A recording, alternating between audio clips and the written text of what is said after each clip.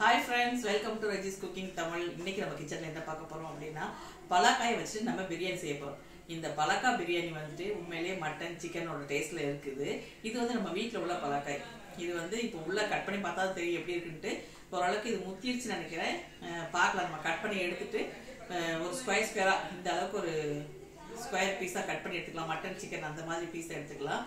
சரி வாங்க. இப்போ வந்து எப்படி செய்யறது வீடியோ போய் பார்க்கலாம் இப்போ பார்த்தீங்கன்னா நான் குக்கரில் ஒரு நாலு அஞ்சு டேபிள் ஸ்பூன் அளவுக்கு எண்ணெய் ஊற்றிருக்கிறேன் எண்ணெய் காஞ்ச உடனே இதில் பட்டை கிராம்பு ஏலக்காய் பிரியாணி இலை மராட்டி மொக்கு அப்புறம் அந்த வாசனைக்குரிய ஐட்டங்கள் எல்லாமே இதில் போட்டாச்சு.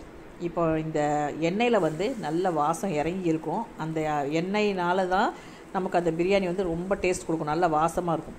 இப்போ பார்த்தீங்கன்னா ஒரு மூணு பெரிய வெங்காயமும் மூணு பச்சை மிளகாயும் சேர்த்துருக்குறேன். இந்த பிரியாணிக்கு வந்து கொஞ்சம் எண்ணெய் கொஞ்சம் காரம் இஞ்சி பூண்டு பேஸ்ட் வந்து அதிகமாக போட்டால் தான் சூப்பராக இருக்கும் டேஸ்ட்டு. இல்லைன்னா நமக்கு அந்த பலாக்காய் வந்து போட்டதுக்கப்புறம் சப்புன்னு ஆயிரும். அதனால் வந்து எல்லாமே கொஞ்சம் தூக்கலாக சேர்த்துக்கலாம். அடுத்தது பார்த்திங்கன்னா இது நல்லா வதங்கட்டும். வதங்கின உடனே மூணு தக்காளி எடுத்து வச்சுருக்கிறேன். நல்லா பெரிய பெரிய தக்காளி தான் எடுத்திருந்தேன். மூணு தக்காளி எடுத்து வச்சுருந்தேன். இப்போ இந்த தக்காளி போட்டு நம்ம நல்லா வதக்கிக்கலாம். இதுக்கு இடையில பார்த்தீங்கன்னா நம்ம வந்து பலாக்காயை தோலை சீவிட்டு நடுவில் இருக்க தண்டை எடுத்துகிட்டு ஓரளவுக்கு ஸ்கொயர் ஸ்கொயராக கட் பண்ணி எடுத்து வச்சுருக்கிறேன். இப்போது தக்காளி வதங்கின உடனே இதில் இஞ்சி பூண்டு பேஸ்ட்டு வந்து கொஞ்சம் அதிகமாகவே சேர்த்துக்கலாம். நம்ம எப்போவும் சேர்க்குறத விட ஒரு ரெண்டு டேபிள் ஸ்பூன் எக்ஸ்ட்ரா சேர்த்துக்கலாம். கூடவே கொஞ்சம் கல் உப்பும் சேர்த்துட்டு அடுத்தது ஒரு கைப்பிடி அளவுக்கு கொத்தமல்லியும் புதினாவும் சேர்த்துக்கலாம். நான் கட் பண்ணி எடுத்து வச்சுருந்த அந்த பலாக்காய் வந்து ஒரு அரை கிலோவுக்கு கொஞ்சம் கம்மியாக இருக்கும். அரிசி வந்து அரை கிலோ. பிரியாணி அரிசி சீரக சம்பா வந்து ஊற வச்சது வந்து ஒரு இருபது நிமிஷத்துக்கு முன்னாடி நான் வந்து ஊற வச்சிட்டேன். அடுத்தது பார்த்திங்கன்னா தக்காளி ஓரளவுக்கு வதங்கினதுக்கப்புறம் பிரியாணி மசாலா சேர்த்துக்கலாம். இது வந்து நம்ம வீட்டில் செஞ்ச பிரியாணி மசாலா. இந்த பிரியாணி மசாலா போடுறதுனாலையும் நமக்கு வந்து பிரியாணி வந்து எக்ஸ்ட்ரா ஒரு டேஸ்ட் கொடுக்கும்.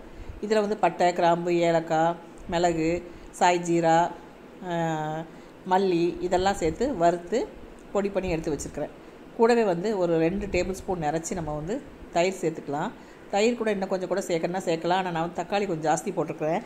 அதனால் ரெண்டு டேபிள் ஸ்பூன் மட்டும் நான் தயிர் சேர்த்துக்கிறேன். தயிரையும் சேர்த்ததுக்கப்புறம் நல்லா வதக்கி விட்டுட்டு பலாக்காய் சேர்த்துக்கலாம். பலாக்காய் பார்த்தீங்கன்னா உப்பு மஞ்சத்தூள் போட்டு ஒரு இருபது நிம் இருபது பர்சன்ட் வேக வச்சுருந்தேன். ரொம்ப கொல கொலன்னுலாம் வேக வைக்கல. கொஞ்சமாக போட்டு ஒரு ரெண்டு நிமிஷத்துல நான் ஆஃப் பண்ணிட்டேன். ஏன்னா இது வந்து சீக்கிரமாக வெந்துடும் இது நம்ம வீட்டில் உள்ள பலாக்காங்கிறதுனால எனக்கு தெரியும் சீக்கிரம் வெந்துடும்ட்டு நம்ம கடையில் வாங்குற பலாக்காயாக இருந்தால் நம்ம கூட கொஞ்சம் நேரம் கூட வேக வைக்கலாம். இப்போ பார்த்தீங்கன்னா பலாக்காய் நல்லா வதங்கினதுக்கப்புறம் நம்ம வந்து தண்ணி சேர்த்துக்கலாம். நான் வந்து ஒன்றுக்கு ஒன்றரை அப்படிங்கிற அளவில் நான் தண்ணி சேர்த்துருக்குறேன். இப்போ வந்து ஒரு டேபிள் ஸ்பூன் அளவுக்கு நெய் சேர்த்துக்கலாம். இந்த சமயத்தில் உப்பு காரம்லாம் எப்படி இருக்குன்னு பார்த்து செக் பண்ணிக்கலாம். உப்பு வந்து ஓரளவுக்கு கொஞ்சம் தூக்கலாக இருக்கிற மாதிரி வச்சா தான் பிரியாணி வந்து நமக்கு சாப்பிட்ற போது நல்லாயிருக்கும். இப்போது தண்ணி கொதிக்க ஆரம்பிச்சிருச்சு. இதில் வந்து நம்ம வடித்து எடுத்து வச்சுருக்கிற அரிசியை சேர்த்துக்கிறோம். இருபது நிமிஷமாக ஊர்ன அரிசி தண்ணியை வடிச்சிட்டு தண்ணி இல்லாமல் நம்ம சேர்த்துக்கலாம். இப்போ வந்து அரிசியும் தண்ணியுமா கொஞ்சம் மேலே வருது பாருங்கள் இந்த சமயத்தில் கேஸை சிம்மில் வச்சுட்டு குக்கரை மூடிட்டு வெயிட்டை போட்டுட்டு விசில் விட வேண்டாம். ஒரு பத்து நிமிஷம் இல்லைன்னா பன்னெண்டு நிமிஷம் விட்டுக்கலாம். பத்து நிமிஷத்துலேயே நமக்கு வந்து சூப்பராக ரெடி ஆயிரும். இப்போ வந்து பத்து நிமிஷம் கழித்து நம்ம பார்க்கலாம். பார்த்தீங்கன்னா பிரியாணி வந்து சூப்பராக ரெடி ஆயிடுச்சு. மனம் கம இருக்குது. வாசத்தை வச்சு நம்ம வந்து இது மட்டன் பிரியாணி சிக்கன் பிரியாணி எதுவும் கண்டுபிடிக்க முடியாது. பலாக்காய் பிரியாணின்னு நம்மளால் கண்டுபிடிக்க முடியாது. நல்ல நான்வெஜ் பிரியாணி மாதிரி தான் இருக்குது. டேஸ்ட்டு வாசம் அந்த மாதிரி தான் இருக்குது. பாருங்கள் எப்படி இருக்குதுன்ட்டு. அதில் இருக்க பீஸ் பாருங்கள் சிக்கன் பீஸ் மாதிரியே இருக்குது. அவ்வளோதான் நம்முடைய பலாக்காய் பிரியாணி. சூப்பராக ரெடி ஆயிடுச்சு பரிமாறதுக்கு.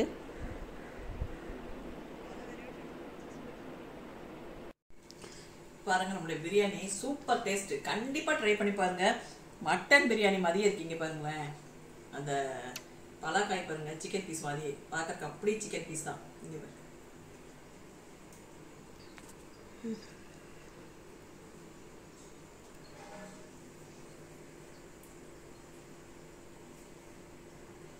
செம்ம டேஸ்ட்